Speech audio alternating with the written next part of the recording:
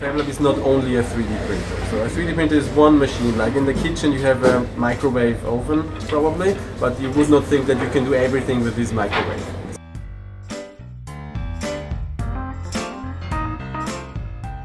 It's a place where you can be trained, when you can share ideas and when you can learn. The FabLab uh, movement is uh, well spread around the world with more than 1,000 FabLabs.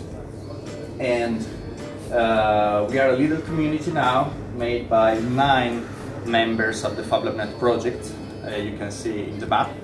But each of us has a connection with the local and international stakeholders, again on business, education and community.